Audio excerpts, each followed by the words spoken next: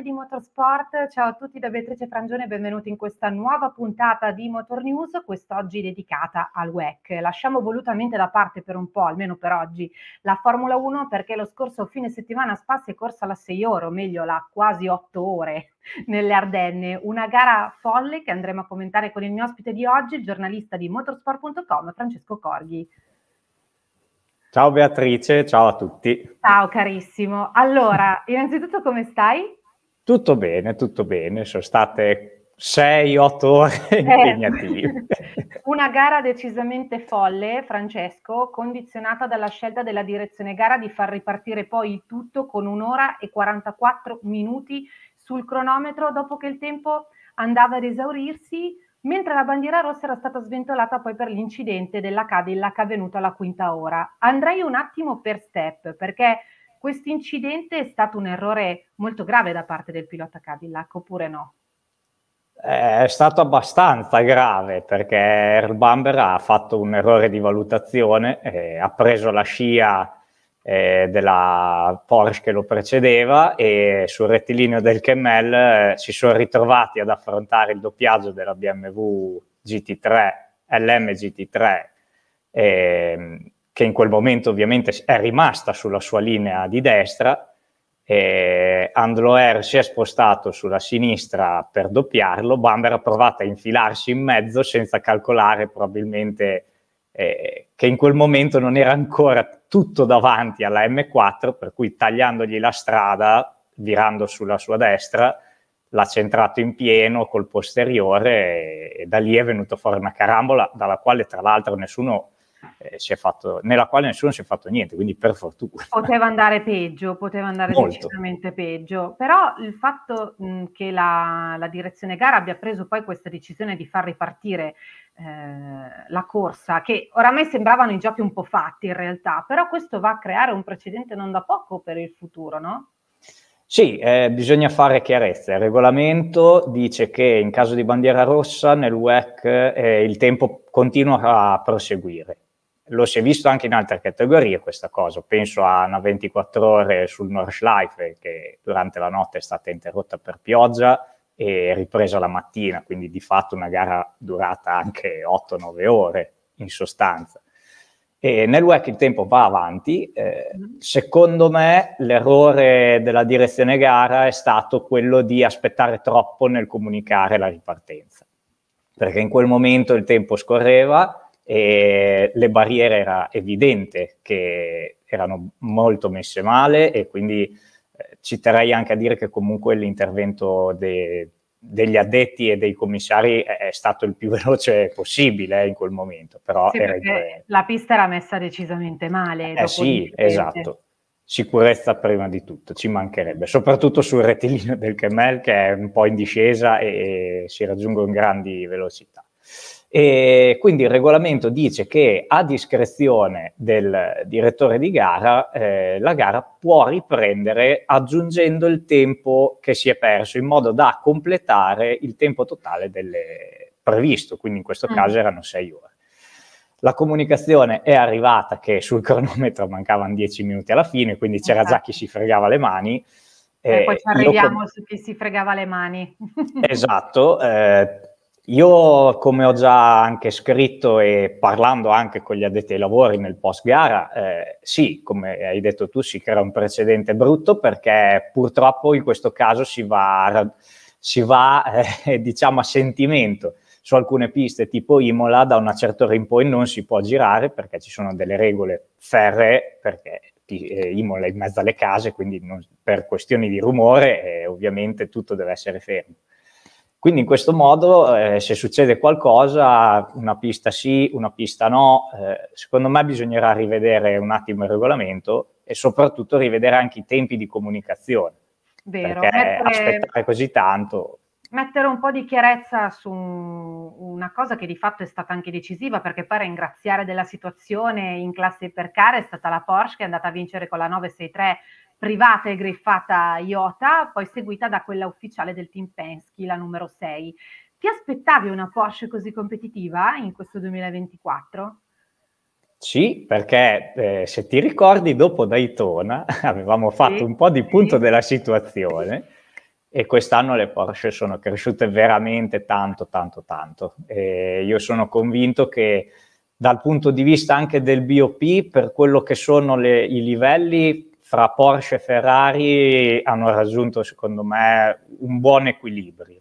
E manca ancora un po' la Toyota, eh, io spero che possano essere diciamo rimesse in gioco per Le Mans così come la Peugeot che ha la macchina nuova e, in effetti si sono lamentati di non aver potuto mostrare quello che è il miglioramento del potenziale della 9X8 e quindi sì, le Porsche comunque sono da tenere d'occhio perché anche i NIMSA stanno andando forte, quindi eh, sono le vetture secondo me quest'anno che possono essere riferimento. Sono la Toyota del 2023 in poche parole. Mm, No, perché la Toyota del 2023 beneficiava di anni e anni di esperienza, se, se mi posso permettere certo. di dire, mentre la Porsche invece durante l'inverno ha fatto un grandissimo lavoro. Non per niente in Qatar eh, ha vinto praticamente sullo stesso livello in, eh, di BOP in cui aveva infinito in Bahrain eh, a novembre. Quindi con una vettura sviluppata durante l'inverno e migliorata tramite i test, è riuscita ad essere molto ma molto competitiva. E non, la Toyota 2023 si poteva anche nascondere e mm. all'occorrenza tirava fuori quello che si teneva nel taschino che gli altri ovviamente non potevano prevedere. Abbiamo detto che qualcuno si stava già sfregando le mani prima della decisione decisiva, mi verrebbe Mi compresi, fare... eh, perché volevamo già scrivere il pezzo e andare a, a intervistare. Noi eravamo già lì che ci stavamo sentendo a distanza, tu giustamente eri a Spa, io ero qui nel, nel mio ufficio di casa, però stavamo già provando a commentare quello che poteva essere uno straordinario risultato per la Ferrari, che chiude con la 50 alla 51 invece in terza e quarta posizione. Mi verrebbe da dirti, caro Francesco, che la Ferrari non aveva sbagliato niente e stavano conquistando di fatto la vetta della classifica, probabilmente sarebbe stata una doppietta, se non sbaglio. era una doppietta. Poteva essere una doppietta. Poteva essere e... una doppietta. E invece... Eh, invece, pur, cioè, purtroppo per la Ferrari, ma purtroppo anche per tutti, tranne che per le due Porsche che hai citato prima, eh, alla ripartenza dietro la safety car sono stati tutti costretti a rientrare in box per fare un pit stop di emergenza. Eh, spieghiamo, quando c'è safety car o gara neutralizzata, tu puoi rientrare, la, pit lane è aperta solo per fare rifornimento. Quindi ti viene consentito di entrare, fare eh, rifornimento di benzina o energia, quello che ti serve per proseguire, dopodiché quando esce la safety car, allora puoi tornare nuovamente ai box e fare tut- benzina completa, eh, gomme, cambio pilota e quant'altro.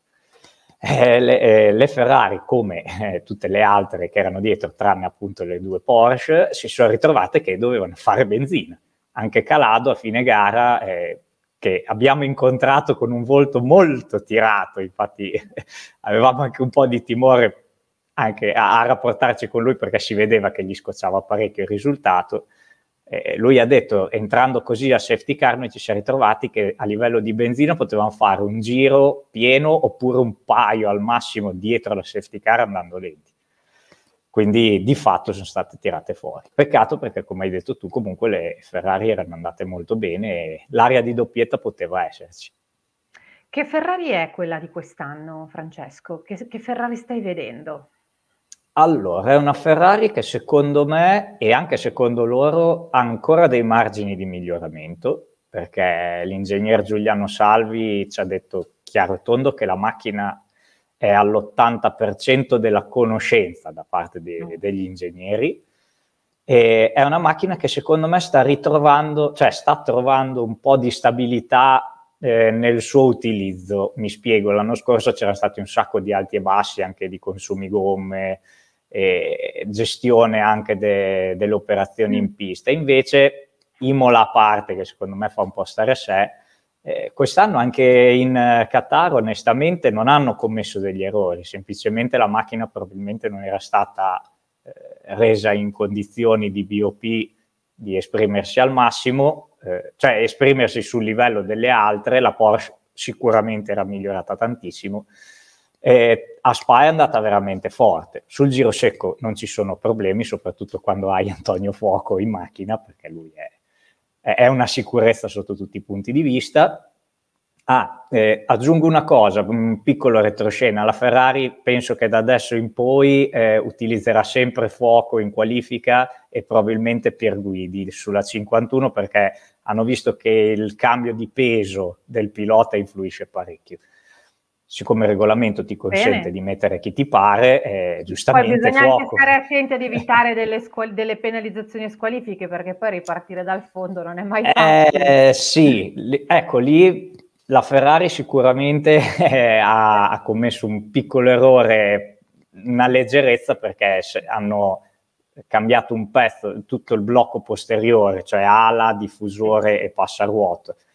Mm, se avete visto la gara del Qatar è quello che è successo sulla 51 che, che si è staccato e quindi l'hanno dovuto riattaccare dopo il contatto con la, una GT3 e, e, quindi cambiando questo pezzo, i pezzi ovviamente escono tutti insieme ma non sono esattamente tutti uguali, non c'era il tempo di fare la pesa, quando sono andati in pesa dopo le qualifiche c'era un chilo di differenza, forse anche qualcosina in meno e eh, purtroppo la, la squalifica è, inevitabile da quel punto di vista lì, però la Ferrari va. Ecco.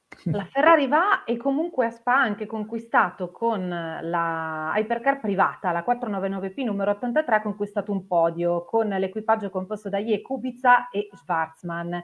Come commenti questa 83 sino ad oggi? Tra l'altro tu hai anche recentemente fatto una bellissima intervista a Robert Kubica eh, che potete trovare sul canale eh, YouTube di motorsport.com e lui stesso dice sì, nonostante siamo un equipaggio che non ha il know-how, o comunque non abbiamo tantissima esperienza, però stiamo riuscendo a fare tanti progressi.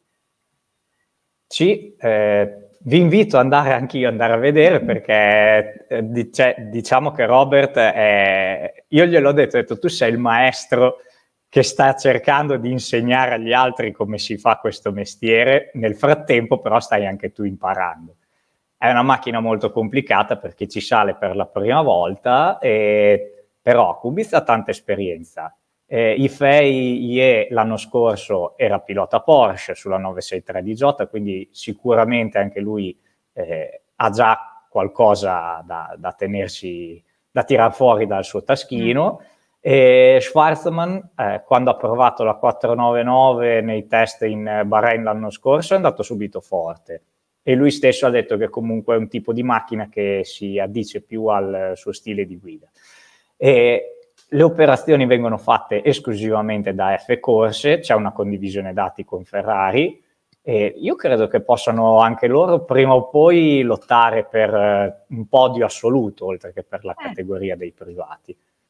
Quindi le Ferrari diventano tre e questa cosa potrebbe secondo me avere un peso anche quando, tipo alle Man quando magari bisogna differenziare delle strategie spero almeno che, venga, che, che, si possa vedere una lotta anche con vetture private come lo è stato a Spa tra le Porsche di Jota e soprattutto quella di Proton. Hai giustamente tirato in ballo Le Mans, l'attesissima Le Mans, forse la gara più attesa da tutte le case e da tutti i piloti che fanno parte del mondiale Endurance, Francesco. Chi vedi favorito secondo te a Le Mans? Chi è più da vittoria in un tracciato come Le Mans?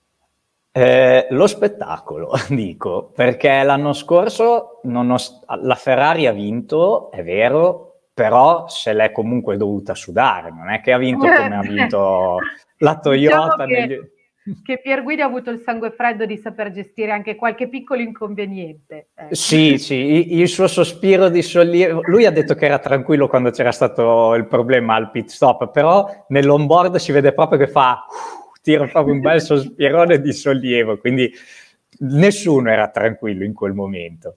Però al di là della vittoria della Ferrari, eh, se vi ricordate, fu una gara dove ci furono all'inizio delle safety car, ci fu la pioggia anche durante la notte, dove in testa si alternarono parecchie vetture, le Porsche, eh, le Peugeot durante la notte, la Ferrari, ovviamente la Toyota con la quale ha combattuto fino alla fine. Quindi io credo che quest'anno si potrà vedere, al di là del meteo pazzo che si incontra alle Man, eh, abbastanza spesso, mm. si potrà vedere una, una bella gara. E eh, già l'anno scorso, secondo me, a livello di BOP eh, si era raggiunto un buon equilibrio alle mani. Eh? io spero che si possa riproporre una cosa del genere perché in una categoria così combattuta, con così tante macchine belle e forti, secondo me eh, c'è veramente, veramente da leccarsi i baffi e con così tanti, secondo me, appassionati che si sono avvicinati tanto a questa categoria, secondo me già dallo scorso anno c'era tanta attesa, tanta aspettativa e devo dire che per i tifosi della Ferrari non era stata certamente delusa. Caro Francesco, noi siamo arrivati alla conclusione della nostra chiacchierata, ovviamente. Che peccato. Eh, infatti il tempo vola quando ci si diverte, come si suol dire. Io ti ringrazio, ti auguro un buon fine settimana in quel di Misano per la GT. Grazie e ovviamente non perdetevi la 24 ore di Le Mans. Eh, ma non è detto che poi ci risentiremo proprio per commentare Sono quello qua. che accadrà alla 24 ore. Intanto grazie ancora a Francesco Corghi di motorsport.com per essere stato con noi. Cari amici, noi siamo giunti alla conclusione di questa puntata di Motor News, ma restate con Nuova Sport Plus per seguire tutti i nostri appuntamenti. Come sempre ringrazio Stefano in regia e noi ci vediamo alla prossima puntata di Sport Today. Ciao a tutti!